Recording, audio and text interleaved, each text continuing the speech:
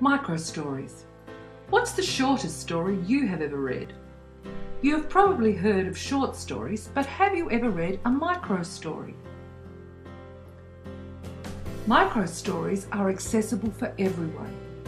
Whether you're a published writer or you have never written any fiction before, you can give this a go and enjoy it. The micro story isn't new. Ernest Hemingway once said his six word story, Baby Shoes, was his favourite. Here it is For sale, baby shoes never used. Gertrude Stein beat him with an even shorter story called Longer. She stayed away longer. Here are a selection of micro stories from students.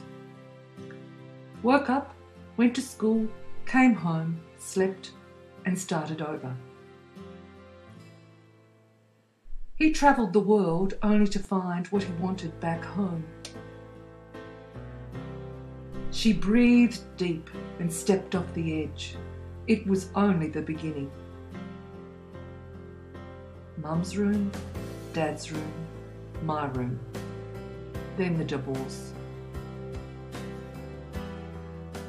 Her teddy lay in the gutter while Rose cried herself to sleep. She always blamed the universe but never blamed herself. It's all in a name, and hers was Gertrude. I gently placed the wreath on the coffin, then spat on it.